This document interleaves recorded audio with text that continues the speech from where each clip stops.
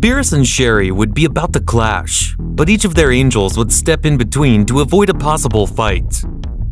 Stop, you two! Whis and Sour would say at the same time. Do you want to destroy the whole universe by fighting each other?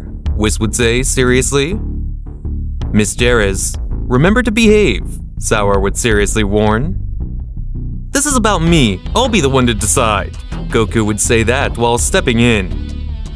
Goku, you will come to Universe 7, where you came from, Beerus would say while pointing at him in a threatening way.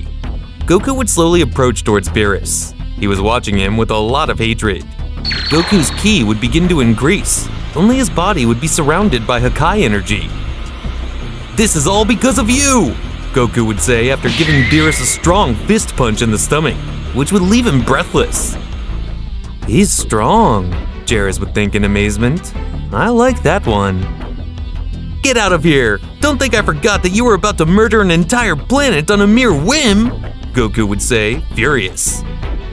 Beerus, without staying behind, would throw a fist punch towards Goku, but Goku would hold his fist, resisting the attack.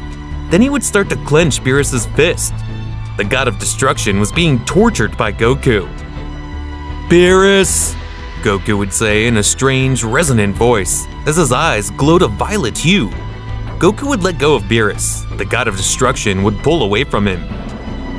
How could he possibly have so much power? Beerus would ask in terror. Goku would fall to his knees and then hold his head because of the intense pain he felt. Get out of here, Beerus, Jerez would say. Mr. Beerus, we better get out of here, Whis would say. Beerus and Whis should leave so as not to make things even worse, while Goku looked in bad shape. What's wrong with you, Goku? Jerez would ask, but Goku would not answer. Goku would start to increase his ki. He would look furious and seemed to be out of control. Goku, can you hear me? Jerez would ask as she approached him. Miss Jerez, move away, Sour would warn. Goku would create a huge ki blast against his will. Sour would arrive just in time to protect Jerez with an energy shield. It's like the Hakai is controlling him, Jerez would say seriously. Then Goku would fall, fainting to the ground. Jerez and Sour were amazed by the power that Goku unleashed. I must have him under control, or else he might turn against me, Jerez would say. Jerez would point to Goku. She would create with her powers a bracelet around his neck. With this bracelet, I can have it under my feet. It will be mine alone, Jerez would say with a devilish smile. Hours later, Goku would finally wake up. What happened? Goku would ask as he looked around. Goku would touch his neck. He would realize he was wearing the bracelet. What is this? Goku would ask. It's a bracelet, Jerez would answer. I already know that. I mean, what am I doing with this on? Goku would say, furious. It's a security measure to control you.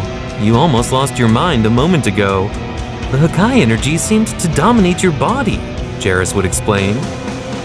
That doesn't make sense, Goku would say as he tried to remove the bracelet. But as he did so, Jerez would snap her fingers, and Goku would be paralyzed by an intense pain running through his entire body. What did you just do? Goku would ask in pain. Believe me, it's for your own good. You don't remember, but you lost your mind, and your ki was sending Hakai energy, Jerez warned. That doesn't make sense. I don't believe you, Goku would say, furious again, and Hakai's energy would start to surround his body again. You see? Jerez would ask, pointing at him. Goku would realize that what Jerez was telling him was true. He could see Hakai's energy coursing through his body. It can't be true, but how? Goku would ask, terrified.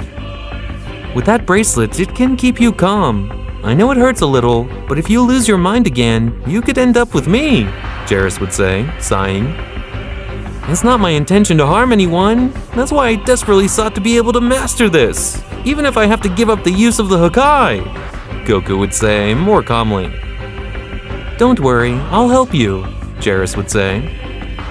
That's not true. You will be my slave for all eternity, Jerez would think, since that was her real plan. Sour would observe his staff with attention. When he would make a gesture of annoyance, he would hit it against the floor. Meanwhile, Whis was watching everything that was happening inside the palace of Jairus, using his staff. But at the moment that Sour had hit his staff on the floor, Whis had stopped seeing what was happening. What a thing! My brother noticed that I was spying on him, Whis would say, somewhat dissatisfied. Never mind, we already know enough. Now we must find a way to get Goku out of there, Beerus would say, angrily. Remember that Beerus has him manipulated with his bracelet. He can even control his emotions with it, warned Whis. Wouldn't it be wiser to leave Goku in Jairus' hands? Even if it doesn't help him, the good thing is that at least he won't get out of control. Remember that Mr. Goku unleashes great power thanks to the Hakai in his body. I absolutely refuse, Beerus would say. Goku belongs to Universe 7. If Zeno-sama wants to see him, how will I explain to him that he's in Universe 2? Oh, now you care what Zeno-sama thinks. But when you were about to kill him, you didn't. What a thing with you, Mr. Beerus. You don't change anymore, the offended angel would say. Some days would pass while Goku would be under the dominion of Jairus. During the days that would pass, the control over Goku had increased. By that time, Goku almost did not speak. He looked like a zombie without expression. Jairus had placed a gold chain on the bracelet, so he would take him everywhere with her, as if he was her pet. Who is the most beautiful goddess of all? Jairus would ask Goku. It's you, Goddess Jairus, Goku would say, hypnotized. But what a nice slave I have, Jairus smiled. You'll be that I blushed. Don't you think this is getting out of control? Sour would ask. Not at all. Goku is under my control, Jairus would answer. Tell me, Goku, who is your owner? Jairus would ask. It's you, Big Jairus, Goku would say again with that empty expression. What happens if Zeno-sama asks for Mr. Goku? Sour would ask again. I will tell him that I'm working on finding a way to remove Hakai's energy from his body, the goddess of destruction would reply. Sour would look seriously at Jairus. He didn't like the situation, and he also feared that Zeno-sama might get upset. On the other hand, Whis would have an idea to get Goku back. Mr. Beerus, what do you think about recruiting Vegeta? Whis would ask. What for? Beerus would ask seriously while resting on a bed.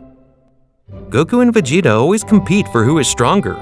If we teach Vegeta how to use the Hakai, I'm sure he will have a good fight against Lord Goku, Whis would say.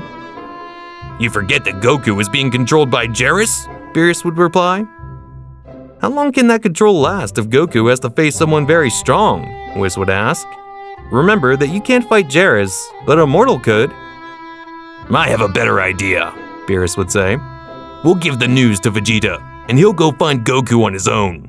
That way we won't have anything to do if anything goes wrong. Gee, it's a good thing you came up with that all on your own, Whis would say, somewhat grumpily. Hours later, Whis and Beerus would arrive on Earth. They would go on a visit to Vegeta's house, meeting him and Bulma. Hey, you two, we haven't heard from Goku, Bulma would say, annoyed. That's why we came, Whis would say. Whis and Beerus would fill them both in on what happened to Goku. That witch is manipulating Goku? As soon as I see her, she'll pay for it, Bulma would say furiously. I doubt it. Remember, she's a god of destruction, Whis would laugh. Then there's not much you can do, Vegeta would say seriously. Hey Vegeta, aren't you going to help Goku? He's your friend, Bulma would say, annoyed.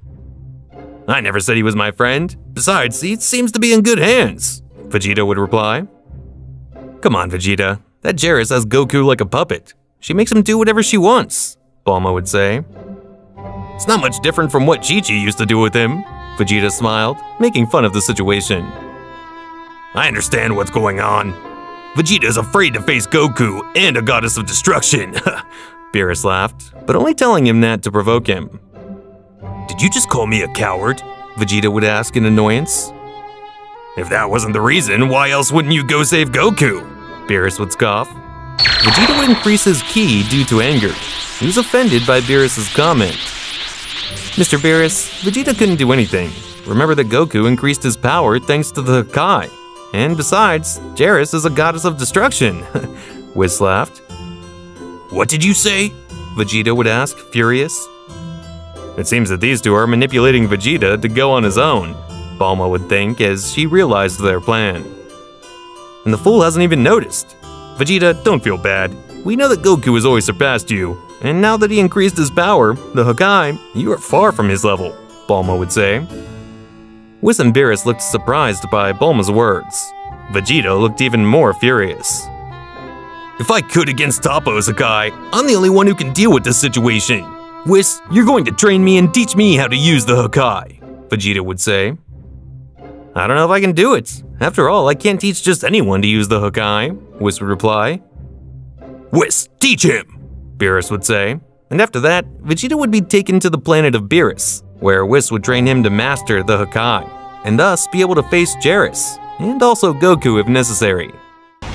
Whis would train Vegeta in a special time room for gods, where one day outside was 100 years inside, and one day inside that room would be enough. Vegeta would come out after training for 100 years. Beerus would watch Vegeta closely. He could feel how his presence had changed. Wow, Vegeta, you've outdone yourself, Beerus would say. Now show me if you've mastered the Hakai. Vegeta would stretch his finger towards Beerus's castle. With a small flash of Hakai, he would make it disappear completely. Beerus was amazed, but also furious. You idiot! You just destroyed my castle! You can prove it another way! Beerus was shouting very angrily. Wow, I think he went a little overboard, Whis would laugh. A little? Beerus would ask, furious. Where will I sleep now? Where will I eat? Where will I live? Beerus would look at Vegeta with hatred. He was about to attack him, but when he tried to do so, Vegeta would look at him with seriousness. Beerus would back away, terrified. What is this feeling of alertness? Beerus would ask. It's as if my instincts were telling me that I would die if I attacked Vegeta. Beerus would think worriedly. I see, I can feel it, Whis would say. Vegeta's a completely different man now. Whis, please take me to Goku, Vegeta would say very calmly. Just try not to kill Goku, Beerus would ask. I'll try, Vegeta smiled. Whis would travel with Vegeta straight to the planet of the Goddess of Destruction of Universe 2. Upon arriving at her palace, Geras looked annoyed by Vegeta's presence. What is that dirty mortal doing here? Geras would ask, annoyed. I came to fight Kakarot's. Don't interfere if you don't want to die. Vegeta would say that calmly as he would see Goku who was being controlled and was standing next to the goddess of Universe 2.